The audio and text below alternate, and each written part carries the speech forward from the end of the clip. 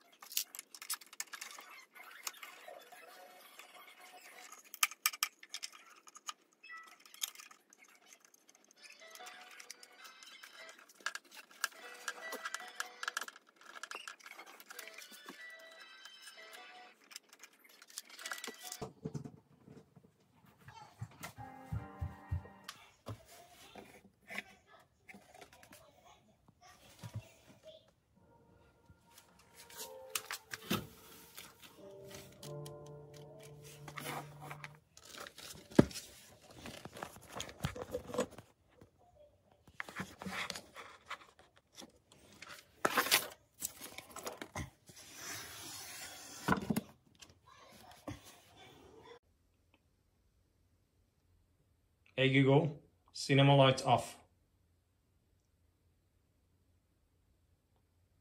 Nice. Hey Google, cinema lights on. Beautiful, thank you.